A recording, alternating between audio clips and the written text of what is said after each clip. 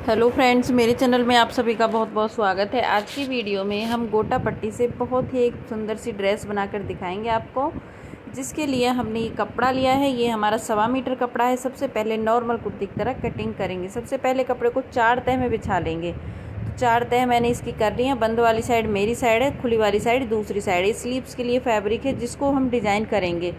तो हमने कपड़े को बिछा लिया है चार तय में, बैक फ्रंट दोनों पार्टी के साथ कट जाएँगी। जो इसकी टोटल लंबाई है वो बयालीस इंच है, वो हम पूरी ले लेंगे। ऊपर से हम एक निशान लगा के चौड़ाई में ग्यारह इंच लिया है।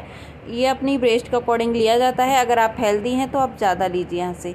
तो मैंने शोल्डर सेवन इंच पे ले लिया है, आर्म होल भी सेवन इंच पे ले लिया है और अपनी ब्रेस्ट का चौथा हिस्सा और उसमें मैंने दो इंच ज़्यादा ले लिया है। कमर के लिए आठ इंच नीचे और हिप के लिए तेरह इंच नीचे एक निशान लगा लिया अगर हम ऐसे नापें तो एक निशान सात पे और एक पंद्रह पे और एक बीस पे आता है। अब अपनी कमर का भी चौथा हिस्सा और उसमें भी हमने इस तरीके से दो इंच ज़्यादा ले लिया है और इस तरीके से राउंड शेप दे देंगे यहाँ से। नॉर्मली कटिंग कर लेंगे जैसे हम अपनी कुर्ती की करते हैं। तो यहाँ से हम इस तरीके से आर्म होल से लेके यहाँ तो पूरा कटिंग करके लेके जाएँगे इसको। ये देखिए, अच्छे से दोनों पार्ट को मिला के तब कटिंग करनी है आपको। ये हो गया कटिंग अभी हम क्या करेंगे कि यहाँ से इसको ओपन कर लेते हैं। ये हमने ओपन कर लिया है। एक कट लगा लेंगे यहाँ पे। अब ये बचा हुआ जो फैब्रिक है, इसमें से स्लीव्स कट करेंगे। ये हमने अलग से ही लिया था। तो पहले हम कुर्ती को देख लेते हैं। तो ये दो पार्ट हमारे हो गए। गला इसका बुकरम पे बनाएँगे। अभी हमने इसके लिए, बाजू के लिए कपड़ा ले लिया है, इसको हम चार तह में बिछा लेंगे। हमें जितना कपड़ा चाहिए होगा उतना लेके हम, क्योंकि हम गले को भी डिज़ाइन करेंगे तो हमें उसके लिए भी एक पट्टी चाहिए होगी। तो हम थोड़ा सा कपड़ा बचा देंगे। जैसे हमने सात इंच पे आर्म होल लिए थे तो हमें डेढ़ इंच ज़्यादा लेना है बाजू के लिए। तो टोटल साढ़े आठ इंच लेना है हमें। तो हमने साढ़े आठ इंच लेके और साढ़े, तीन इंच पे खुली वाली साइड से निशान लगा के और बाजू की शेप दे देनी है। अब यहाँ से हम आपकी जितनी भी फिटिंग है, उसमें आपको डेढ़ इंच ज़्यादा लेके इस तरीके से शेप दे देनी है और कटिंग कर देनी है इसकी।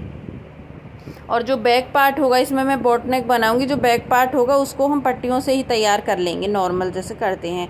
इसमें हम छोटी जो हमारी गोटा पत्ती आती है, उसका यूज़ करेंगे, पतली वाली, आधा इंच वाली। सबसे पहले गले की कटिंग करेंगे बोटनेक के लिए। तो पाँच इंच चौड़ी और साढ़े छः से सात इंच चौड़ लंबी हमने बुकरम ले ली है। साढ़े तीन इंच चौड़ाई और पाँच इंच लंबाई लेके हम इसका एक बॉक्स बना के और बॉटनेक की सेप दे देंगे इसमें। आप चाहें तो इसको अपने हिसाब से चार इंच भी, साढ़े चार इंच भी कर सकती हैं चौड़ाई को। अब यहाँ से हम लगभग एक एक इंच के बराबर ऐसे रखते हुए सेप दे देंगे गोल और इसकी कटिंग कर देंगे। और इसको हम किसी प्रेस से चिपका देंगे और एक लंबी पट्टी लेंगे, जिसको भी हम आगे की साइड डिज़ाइन करेंगे, आप बस वीडियो में अंत तक बने रहिएगा तो ताकि कोई भी चीज़ आपसे मिस ना हो। अब देखिए, ये मैंने एक पट्टी ले ली है। पट्टी की चौड़ाई लंबाई बताती हूँ, लंबाई तेरह इंच है, चौड़ाई हमारी दो इंच है। और इसको मैंने आधा आधा इंच एक्स्ट्रा रख के कपड़ा तब प्रेस किया है।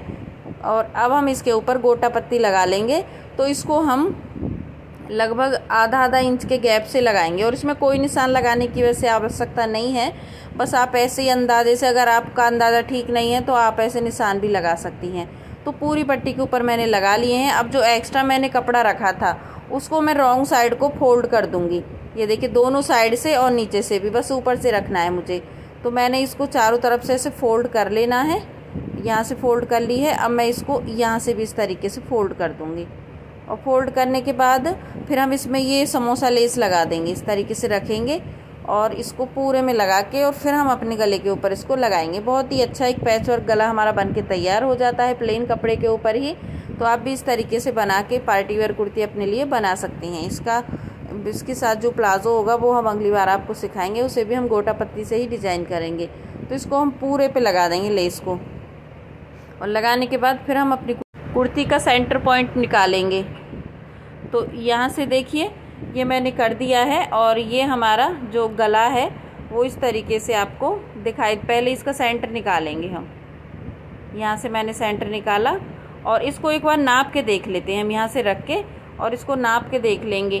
तो पहले हमारा जो गला है, इसको रखेंगे और देखिए, जैसे हमारी पट्टी की जो लंबाई है, वो तेरह इंच है। और गले की जो लंबाई होगी वो पाँच इंच तक होगी तो उसको लगभग दो इंच ऊपर करके ही रखेंगे।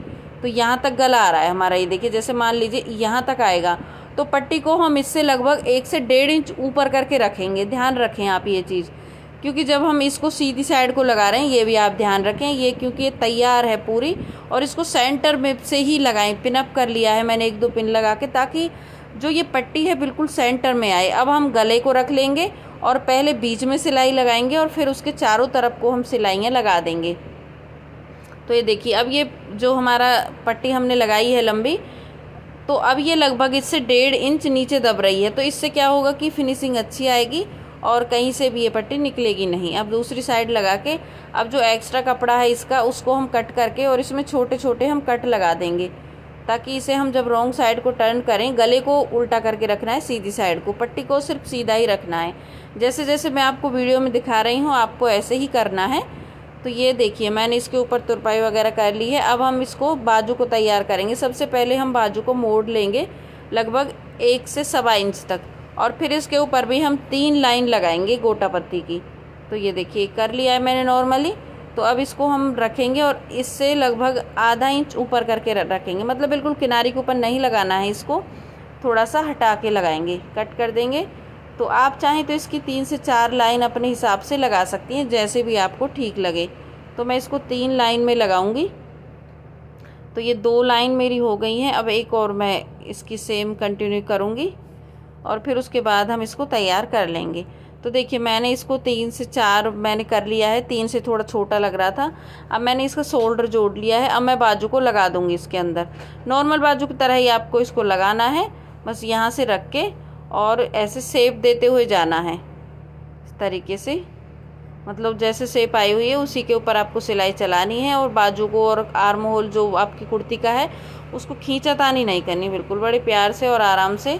अगर हम पूरे मेज़रमेंट के साथ कटिंग करते हैं तो कभी भी बाजू छोटी बड़ी नहीं होती है। अब दोनों बाजुएँ लगा ली हैं अब इसमें फ़िटिंग दे लेंगे। फ़िटिंग आपको अपने अकॉर्डिंग देनी है। आप कोई अपनी पुरानी कुर्ती यूज़ कर लीजिए या फिर आपको जो भी ठीक लगे आप उस हिसाब से अपनी कुर्ती की फ़िटिंग दे सकते हैं। अब दोनों साइड से हम इसको बराबर अपनी फ़िटिंग के अकॉर्डिंग ही कट इसकी फ़िटिंग करेंगे। तो ये देखिए अब तेरह इंच तक फिटिंग करने के बाद क्योंकि तेरह इंच से नीचे तो हमारी जो आ, कपड़ा है हमारी जो स्लिट है वो ओपन रहेंगी मतलब यानी खुली रहेंगी अब दूसरी साइड से भी सेम फिटिंग दे लेंगे और फिर हम इसके चाक फोल्ड करेंगे। तो इसको इस तरीके से लाने के बाद कि सेम जो तेरह इंच है वहाँ तक लाने के बाद अब इसको हम घुमा देंगे ऊपर की साइड इसको सिलाई को डबल कर देंगे। तो दोनों साइड को फिटिंग वगैरह हो गई है। अभी हम क्या करते हैं कि इसकी चाक मोड़ लेते हैं। तो चाक मोड़ने के लिए सबसे पहले इसको ऐसे आधा इंच और फिर एक इंच टोटल डेढ़ डेढ़ इंच के चाक मोड़ेंगे चारों। तो ये ध्यान रखें आप, इस तरीके से बस ऐसे पकड़ के और ऐसे सिलाई लगानी है। और इस पर फिर हम बाद में तुरपाई नहीं करेंगे। अगर हम इस तरीके से चाक मोड़ते हैं तो हमें तुरपाई की ज़रूरत नहीं पड़ती है। फिनिशिंग हमारी बहुत अच्छी आती है। तो यही छोटी छोटी चीज़ें हैं सीखने के लिए, जो आपको सीखनी चाहिए। अब यहाँ तक ला के और बस अब धागे को कट कर देंगे और दूसरी साइड से स्टार्ट करेंगे। फिर उसके बाद हम इसकी सेप बनाएँगे। वो आप देखिएगा किस तरीके से बनाते हैं।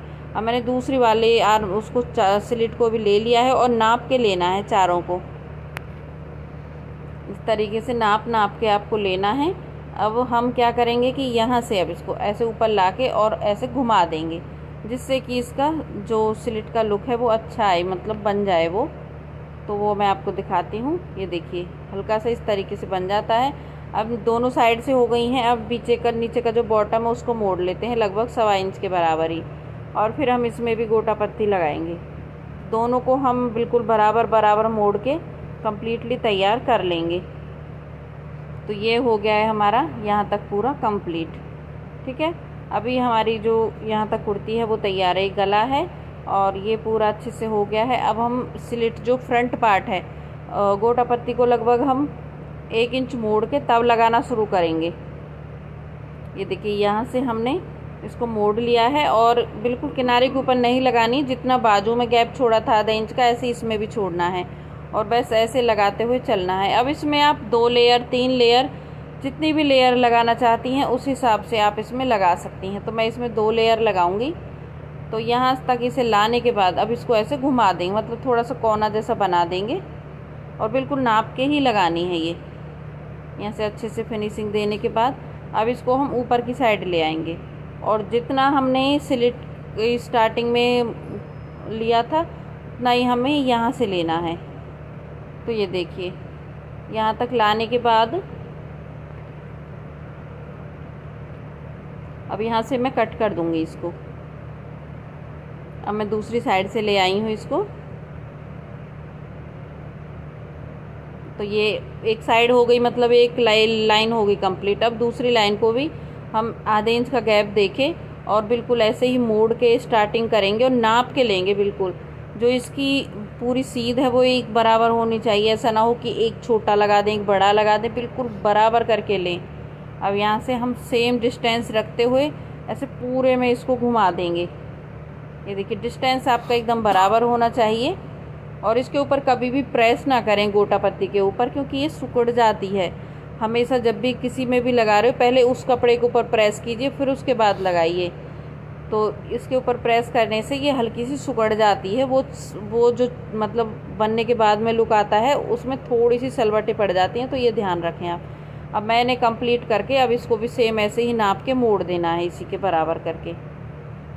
तो ये जो हमारी ड्रेस है, वो बन के कम्प्लीटली तैयार है, इसका जो पूरा ऐसा ही प्लाजो बनेगा। वो जल्दी शेयर करेंगे। इसलिए रख के दिखाया, पहन के नहीं दिखाया, क्योंकि पूरी ड्रेस तैयार नहीं है। जो पूरी ड्रेस तैयार होगी तो आपको ज़रूर पहन के दिखाएँगे। आपको बहुत पसंद आएगी। अच्छी लगे तो नीचे प्लीज़ कमेंट करके बताइएगा। और मेरे चैनल पर नए हो तो सब्सक्राइब कीजिएगा। धन्यवाद आप सभी का।